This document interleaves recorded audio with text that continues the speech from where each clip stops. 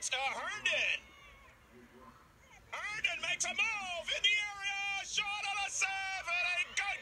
Trying to get another one. Another one. And Strickler knocks it in. And that is Herndon. Ashley Herndon